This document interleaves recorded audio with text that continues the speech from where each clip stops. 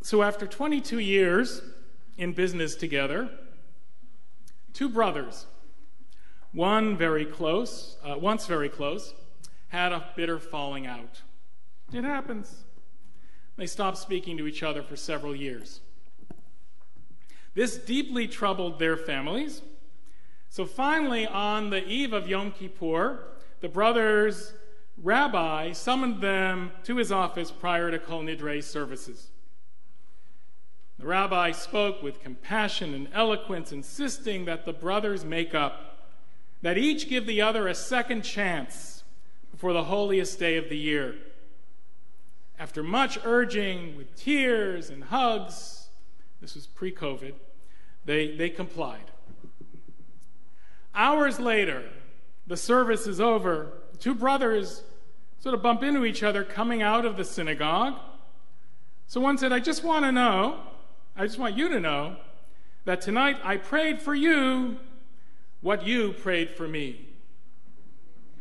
With that, the brother glared at him and responded, Starting up already? So here's an interesting question, and it'll all tie together with that story. What historical events does Yom Kippur commemorate? I mean, this is our biggest holiday, our most important holiday, but for such a huge holiday, I bet you can't come up with a significant event. There's really no headliner event to latch onto, no great military victory, no miracles like a sea parting. Rosh Hashanah is tied into the creation, doesn't get much bigger than that. Doesn't tie into the Exodus as other festivals do. But Yom Kippur, this is the, the goat of all holidays, the greatest of all time commemorates literally the release of a goat. It's almost as if Thanksgiving commemorated the pardoning of the presidential turkey. And you know, if you include the goat thing, and I'm going to get to the goat thing a little later on, there are actually three biblical events that form the traditional historical basis for Yom Kippur. Three biblical events. All of them have something in common. All of them involve second chances. All of them involve forgiveness. So, first event Yom Kippur commemorates the giving of the Ten Commandments at Mount Sinai. But hey, you say, you know, what about Shavuot, the festival that we celebrate seven weeks after Passover? What about Shavuos? Doesn't that commemorate the giving of the Ten Commandments at Mount Sinai? And yes, it does. But you might recall that Moses destroyed those Ten Commandments when he saw the people dancing and cavorting at the golden calf, and without masks, no less. Then Moses convinces God to give the people another chance, and he and God collaborate on the writing of a second set. Now, in life, there is nothing like the first time for anything.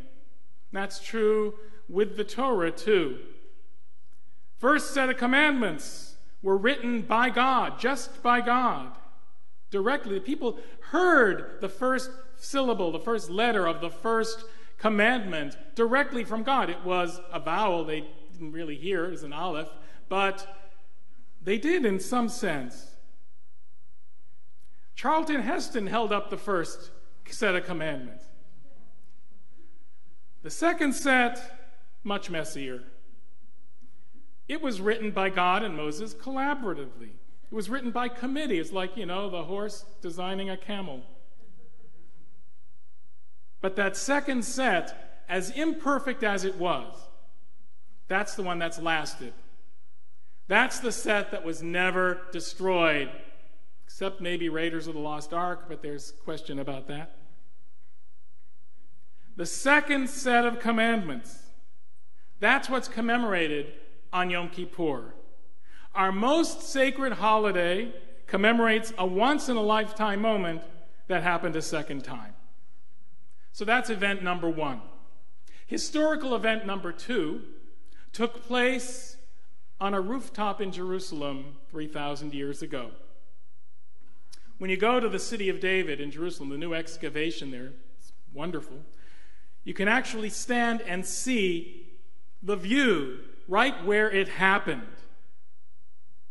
When you stand here, you look across the valley, the, the valley, you can see the flat roofs of Silwan on the other side, and you can see from David's palace where he looked out and saw Bathsheba bathing. And he immediately knew he had to have her, and he did. She was married, and her husband Uriah was off fighting one of David's wars. When she discovered she was pregnant, they didn't need a DNA test to know who the father was. David solved his problem, as you may recall, by having Uriah moved to the front lines and ordering the other troops to back away. Uriah was killed. David married Bathsheba, and they lived happily ever after. Ah, not exactly. Because the prophet Nathan condemned the monarch, and David saw the error of his ways. He was in excruciating pain. The baby then died. The house of David never knew peace. David pleaded for forgiveness, but he knew mostly misery for the rest of his days. Now you can see um, there's question as to who exactly wrote the Psalms, but let's take to the traditional view that David wrote them. You look at Psalm 51. It is filled with the pathos that David could have shown. And some of that psalm was plunked right into the Yom Kippur liturgy. A direct connection is made. You'll see it in Shema Kolenu. You'll see it in other prayers. This poetic masterpiece reveals the depths of the tortured king's self recognition and despair. It is breathtaking. The purity of his penitence, without even the hint of the rationalizing that we so often see. You know, none of this, I'm sorry if you were offended. None of this stuff like, you know, I'm sorry if you can't take a joke, Uriah. It is so refreshing to see this psalm, to see David's remorse. He pleads. Here's one line. Haster panecha mechatatai v'chol avonotai mechei. Don't hide your face from me, he says to God. Hide your face from my transgressions. Don't erase me. Don't wipe me out. Don't, modern term, cancel me. Blot out my iniquities. It actually, the word meche does mean to cancel. Yes, we invented cancel culture. Who knew? But in Jewish tradition, it is not the sinner who is canceled, but the sin. And forgiveness happens when there is remorse. For the sinner, there is almost always a second chance. And these stories seem to be telling us that straight out. Golden calf, charges against Israel would have included at least one count of idolatry in the second degree. And David's rap sheet, just from this one incident, is formidable sexual harassment, arguably rape, first degree murder of Uriah, theft since wife was property back then. Adultery, of course, and for good measure, he literally coveted his neighbor's wife. He broke about half of the Ten Commandments in one fell swoop. Just this one incident of Bathsheba. If anyone ever deserved to be canceled, King David deserved to be canceled. But despite that, despite all that, David was forgiven. He lived a miserable family life, but he was loved by the people. His name, actually, David, means beloved. His reign continues through history. His line is designated to rule forever. The Messiah is supposed to come from the line of King David. In the Bible, there are other covenants between God and uh, the people, between God and Abraham and other patriarchs and matriarchs. They're all conditional. The Ten Commandments themselves are conditional. But this was not a quid pro quo with David. God establishes a covenant, you see it in Samuel, that is unconditional to establish his dynasty forever. There has arguably been no more beloved figure in the 3,500 years of Jewish history than King David. It is a puzzlement. He even has a hotel named after him. And a whole lot of you are named after him too. You know, it's hard to understand. It's hard to understand how. You know, we're not trying to minimize. We're not trying to minimize the horrors of what he did. That's not Judaism. The idea is not to whitewash rape. God forbid. We should never do that. We should not do that. No, no government, no state should ever do that. And we saw just yesterday the testimony of young women, the Olympic gymnasts, that certain acts deserve no mercy. So, what makes David different from Larry Nassar or Harvey Weinstein? And it's a question we need to grapple with. But the answer that Yom Kippur seems to be giving us, that the Bible seems to be giving us, is genuine contrition, soul scorching remorse, a willingness to pay any price and it seems like this message is so important, as sensitive as it is, that it has to be delivered as the main message of Yom Kippur. The lesson of Yom Kippur is that we need to lean just a little in the direction of second chances, that the default is on forgiveness. Because our instinct our gut response is typically just the opposite. We are wired for anger, revenge, and grudges. According to the Cornell Family Reconciliation Project, fully one quarter of families have members not talking to one another. In his new book, Fault Lines Fractured Families and How to Mend Them, Karl Pillemer, a family sociologist at Cornell, asked participants Is there a relative with whom you have no contact? 27% said they're estranged from a family member, and half of them have been estranged for four years or more. Now, I do a lot of family events. And based on my work, I mean, hardly a funeral goes by without some kind of family drama taking place, because that's the time when people see each other unplanned after not having seen each other for a long time in some cases. I think it's a low estimate, 27%. I think a lot of people, you know, how they respond to pollsters in different ways. I think this is one where I would be embarrassed to tell a pollster that I'm not on speaking terms with a close relative. By the way, I feel fortunate at this moment I'm on speaking terms with all of my living relatives and most of my dead ones. I can proudly visit our cemetery and know that I'm talking to all of them.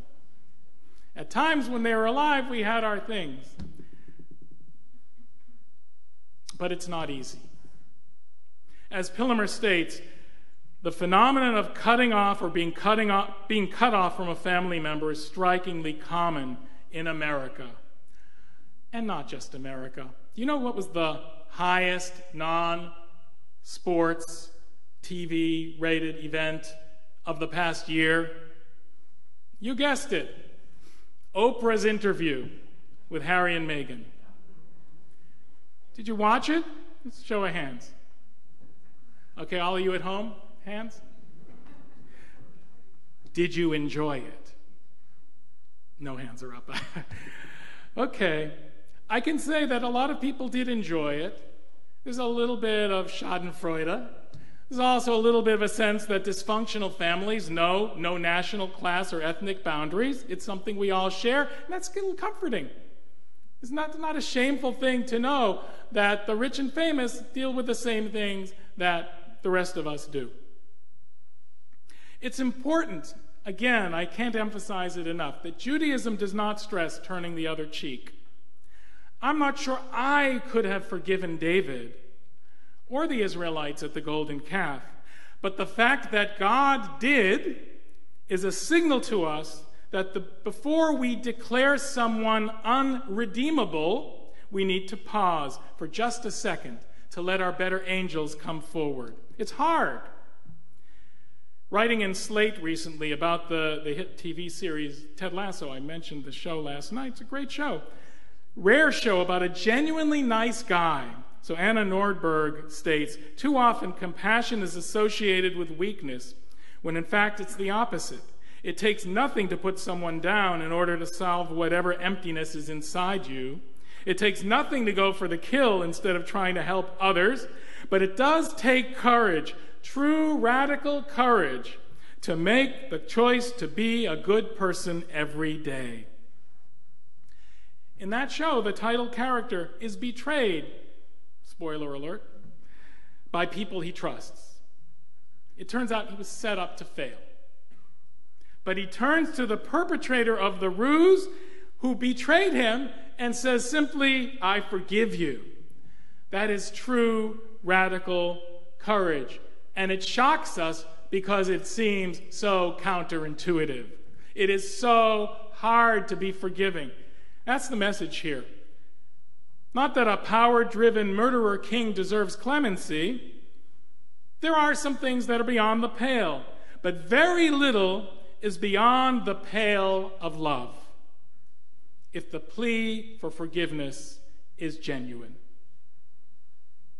Sometimes forgiveness doesn't need to take the form of a dramatic apology. Sometimes it comes in with soft, cat like footsteps. Suddenly the person is just there, bearing a smile that says it's okay.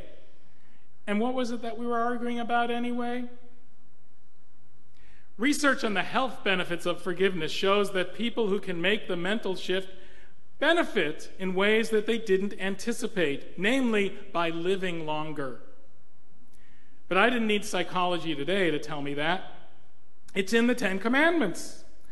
One of the few commandments in the entire uh, Torah to state a rationale next to the mitzvah is the commandment to honor our parents. And why? Laman yarichun yamecha, honor your parents so that you may live long. Psalm 51, that psalm where David pleads for forgiveness, pleads for forgiveness, includes a verse that we read every single day in the Amida. It's read silently at the beginning, in the introduction. Adonai, Svatai, Tiftach, Ufi Yagiti Hilatecha. O Lord, open my lips and let my mouth declare your praise. It's also found in the Yom Kippur liturgy. So the great medieval commentator Rashi says, O Lord, you shall open my lips, which is weird. God's going to open your mouth so you can talk to praise God. Sort of like a circular logic. So Rashi says what he's really saying is, David is saying is, forgive me, God, so that unburdened by the guilt of my sin, I can declare your praise with purity, with completeness. I can approach the whole world with a, an attitude of praise and healing, which will heal me as I attempt to heal others. I can give back. David is begging to be uncanceled, and he was redeemed. And he rose from the depths of sin with a literary flourish never again equaled, 150 times over. Not even Shakespeare compiled such a legacy. Psalm after psalm, David's words rose from the depths of his self inflicted wounds. We can feel their pathos. That is why we so adore those who make the most of their second chances. Next time you begin the Amida with that one silent line, try to imagine the feelings of that tormented king and let it lead us to taking more responsibility for our actions and to put a default on forgiveness. Even from the point of view of Kabbalists, Jewish mystics, the default on forgiveness is built into the very nature of the universe. There are cosmic forces, emanations of God, that establish a balance. And the two key divine qualities that balance each other out in the cosmos are chesed, mercy and love, and gevura, justice. And they are completely in balance. But chesed, love, is on the right hand side, which is typically the stronger side, except for we lefties. So that's where the default lies. It's on the right side. Love wins by a hair. Our sources take this default on forgiveness very seriously. But alas, in our society, the default is not on forgiveness, but on outrage. We shoot first and ask questions later. We've been coarsened by an outrage industry whose goal is to get people so angry that they will willingly part with their money and in some cases their sanity. How refreshing it is. I know people don't always love to be asked for money, but to have a fundraiser as we do here, which focuses only on positive things. We didn't have to say we're going to, you know, go under we're in deep water. We're, we we, we talked about the good things that we do. We're not trying to stoke anger. And that is the outrage industry in our country and in our world. The goal should always be to create a community of mutual dependence and trust, where all that matters is the fostering of human dignity and seeing our fellow human being as created in God's image. We've got to stop canceling and start listening. We've got to stop accusing and start forgiving. Our greatest leaders were significantly flawed King David and Moses and Miriam. All could easily have been utterly canceled, but they all got second chances. Now, we're all capable of becoming cancellation machines, and that's what I'm afraid of. That's what I'm afraid that we're tending toward if we're not careful. I mean, there are a lot of things I'd love to cancel. Sponge cake. Especially dry sponge cake. You know, who wants to eat a cake that tastes like a sponge? I would love to cancel that Cars for Kids song.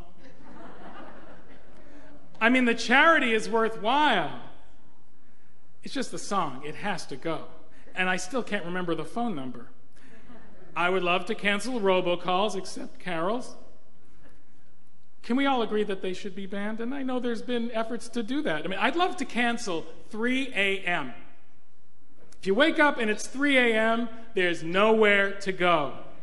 You just have to wait it out. I wish they could go straight from 259 to say 5. And I know it's a sign of leadership, the old commercial, you know, to answer those 3 a.m. phone calls. And I've gotten some of those, serious ones, but mostly they're robocalls from cars to kids, for kids. There is time when outrage is justified. Again, I have to say that. I once called for Bernie Madoff to be excommunicated. And excommunication is, is not a tool lightly used. When it is used, however, it's most often abused. But more often, what's called for is not outright cancellation, but mid course reassessment as more information comes in, which needs to be accompanied by a whole heap of humility and a recognition that, like David, Moses, and Miriam, even our beloved country is not perfect.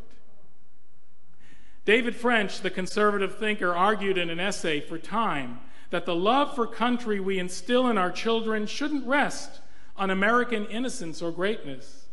Rather, we should love our country the way we love our family, which means telling the full story the good, the bad, the ugly.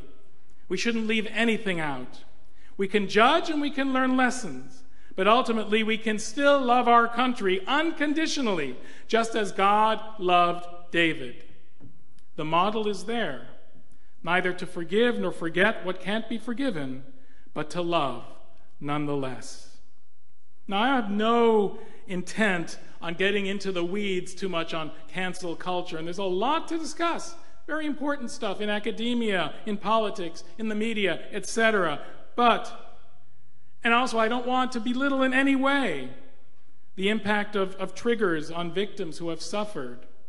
I would never suggest that one who is abused forgive the abuser. All I'm suggesting here is that Yom Kippur calls upon us to take extraordinary steps to listen with a focus not on the sinner, but the sin.